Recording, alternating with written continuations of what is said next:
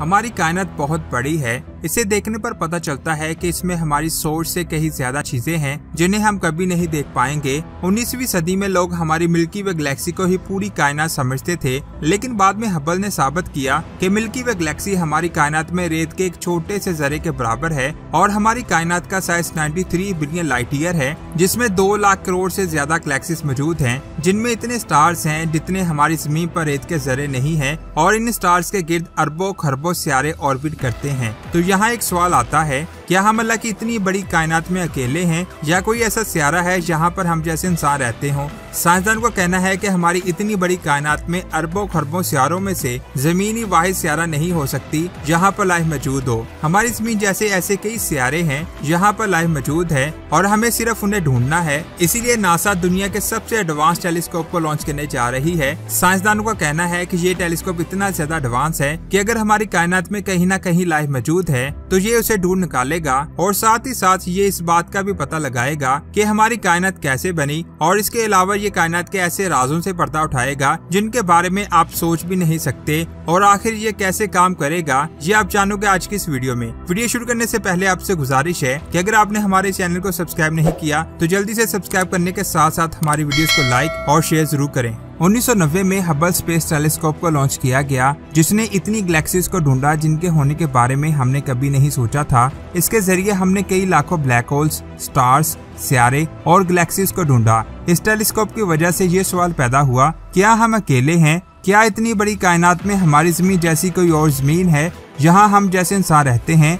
और हमारी ये कायनात कैसे बनी? इन सवालों के जवाब के लिए हमें नए और बहुत एडवांस टेलीस्कोप चाहिए और ऐसा ही अब तक का सबसे एडवांस टेलीस्कोप हमारे पास है। जिसका नाम जेम्स वेब स्पेस टेलीस्कोप है, जिसके ज़रिए हम पहले गैलेक्सी का पता लगाएँगे और साथ ही ऐसे सियारे ढूंढेंगे जहाँ पर पानी मौजूद हो। आज से कई सौ साल पहले, जब लोगों ने आसमान में देखा तो उन्हें लगा कि हर चीज़ हमारी ज़मीन के गिर्द घूम रही है। हमने सूरज को मशरक से निकलते और मगरी में ग्रुप होते हुए देखा। हमने चाँद को आसमान से गुजरते हुए देखा, जिसकी वजह से लोगों को लगा कि हम इन सभी चीज़ों के बीच में हैं और सभी चीज़ें हमारे इर्द गिर्द घूमती हैं। लेकिन फिर चौदह में कॉपर निकोलस सामने आए उन्होंने कहा कि ऐसा नहीं हो सकता, क्योंकि आसमान में बहुत सारी चीज़ें हमारे गिर्द गोल गोल नहीं घूमती, बल्कि वो अपने ऑर्बिट में घूमती हैं। लेकिन कुपर निकोलस इस बात को साबित नहीं कर पाए। उसके बाद 1609 में इटली के एक साइंसदान ने एक ऐसी चीज़ के बारे में सुना, जिसे दूर की चीज़ करीब दिखाई देती है, और फिर एक ही दिन में कलीलो ने अपना टेलीस्कोप बना लिया। फिर उसने चाँद को देखा। उस वक्त चाँद को गोल माना जाता था, लेकिन उन्होंने पहली बार देखा कि चाँद बिल्कुल गोल नहीं है। उस पर पहाड़ हैं,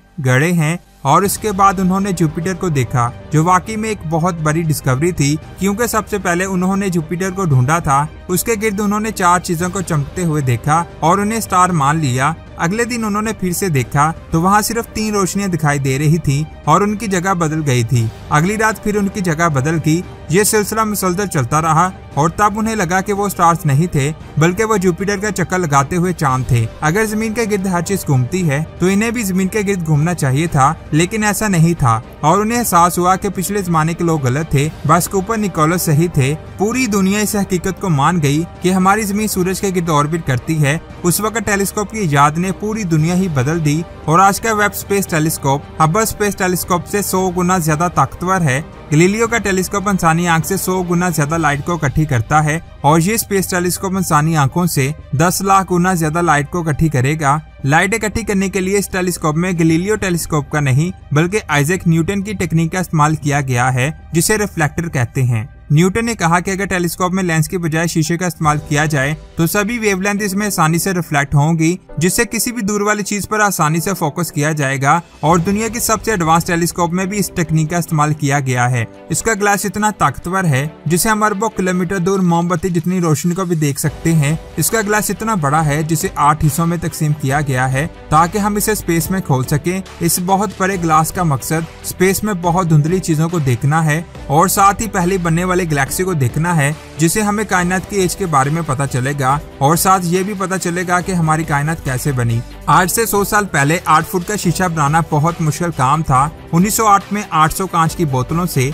100 इंच का बहुत बड़ा शीशा बनाया गया। उस शीशे में बहुत सारे बबल्स थे, लेकिन फिर भी उसे कैलिफ़ोर्निया भेज दिया गया, जिसे एक ऑब्जर्वेटरी में लगाया गया। जिसे पूरा एक सिटी देखा जा सकता था, वो शीशा इतना अच्छा साबित हुआ, जिसने कायनात को देखने का हमारा नज़रिया ही बदल दिया। उस वक्त लोग मिल्की व गैलेक्सी को ही पूरी कायनात समझते थे, लेकिन मिस्टर हब्बल ने इस टेलीस्कोप से एक स्टार को देखा, जो हर महीने अपनी चमक को तब्दील कर रहा था। उसकी रोशनी बाकी स्टार्स के निस्बत बहुत ज़्यादा डिम हो रही थी, और इसी डिम रोशनी की वजह से साइंसदान स्टार के डिस्टेंस का पता लगा पाते हैं, और इसी स्टार की रोशनी की वजह से हब्बल ने पता लगाया कि ये स्टार मिल्की वे गैलेक्सी का हिस्सा नहीं है, बल्कि ये स्टार इस गैलेक्सी से बाहर एंड्रोमेडा में मौजूद है, यानी हमारी गैलेक्सी से बाहर भी कायनात थी, और हब्बल ने इस टेलीस्कोप से साबित किया कि हमारी गैलेक्सी से बाहर भी यूनिवर्स है, वो भी सिर्फ़ वो स्टार की रोशनी की मदद से और इसी तरह हमने पहली बनने वाले गैलेक्सी से निकलने वाली रोशनी को वेब स्पेस टेलीस्कोप से देखना है, ताकि हमें ये पता चल सके कि हमारी ये कायनात कैसे बनी।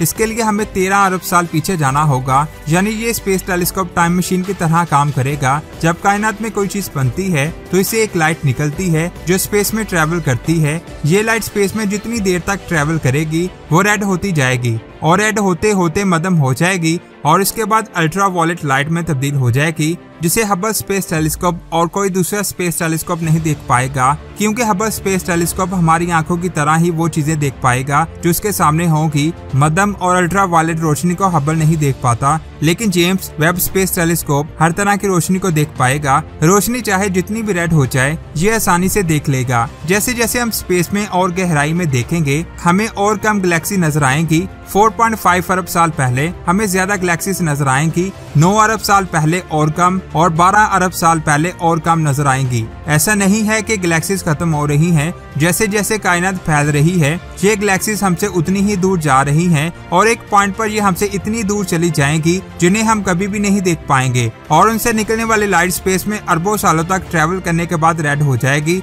जिन्हें हबल नहीं देख पाता। हबल स्पेस टेलीस्कोप से हमने बहुत दूर तक देखा, लेकिन हम पहले गैलेक्सी की स्टडी नहीं कर पाए जिसे हमें हमारी कायनात के फॉर्मेशन के बारे में पता चल सके। लेकिन उस गैलेक्सी से निकलने वाली लाइट स्पेस में मौजूद है और स्पेस में ट्रेवल करते करते अल्ट्रा वॉलेट में तब्दील हो गई, जिन्हें सिर्फ़ और सिर्फ़ वेब स्पेस टेलीस्कोप से देखा जाएगा। इसकी सबसे खास बात ये है कि ये स्पेस टेलीस्कोप ज़मीन के ऑर्बिट में नहीं, बल्कि ज़मीन से एक लाख मील दूर लेंगोची पॉइंट पर लॉन्च किया जाएगा। लेंगोची पॉइंट वो पोजीशन है जो ज़मीन और सूरज के दरमियान मौजूद है। यानी इस जगह पर ज़मीन और सूरज की ग्रेविटी एक बैलेंस में है। इस पॉइंट पर रहकर ना तो इस टेलीस्कोप को ज़मीन और सूरज की ग्रेविटेशनल फोर्स की वजह से खींचे जाने का खतरा है, और ना ही इन दोनों की ग्रेविटी की वजह से स्पेस में इसे दूर फेंके जाने का खतरा है। यहाँ मैं आपको बता दूँ, ज़मीन से एक लाख मील दूर होने की वजह से इस टेलीस्कोप को सूरज की गर्मी से खतरा हो सकता है। इसलिए इसमें मल्टी लेयर सनशील्ड लगाई गई है, जो 20 मीटर लंबी है और 7 मीटर चौड़ी है, जो कैप्टन बॉली माल फ़िल्म की पाँच बहुत पतली लेयर से मिलकर बनी है। इस शील्ड का काम स्पेस टेलीस्कोप के मिरर और इसमें लगे इंस्ट्रूमेंट्स को सूरज की रोशनी से बचाना है।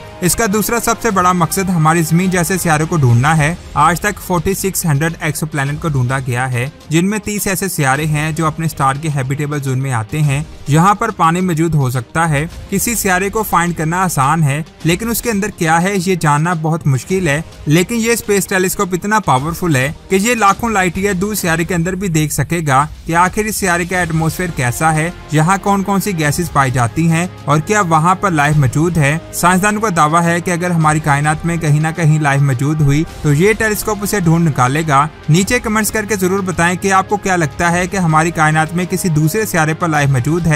अगर है तो क्या ये टेलीस्कोप उसे ढूंढ पाएगा? और आज की वीडियो आपको कैसी लगी? अगर अच्छी लगी तो लाइक ज़रूर करें। और अगर आप अल्लाह की इस अजीम कायनात के बारे में हर इंसान को बताना चाहते हैं तो इस वीडियो को हर जगह शेयर करें, ताकि हर मुसलमान अल्लाह की बनाई हुई कायनात के बारे में जानकर अल्लाह अकबर कह सके, जिसका स्वाब आपको में मिलेगा। और अगर आप स्पेस के ऐसी ही अमेजिंग वीडियो को देखना चाहते हैं तो चैनल को सब्सक्राइब करने के साथ साथ बेल आइकन को प्रेस करें। अपना बहुत सारा ख्याल रखें। अल्लाह हाफिज।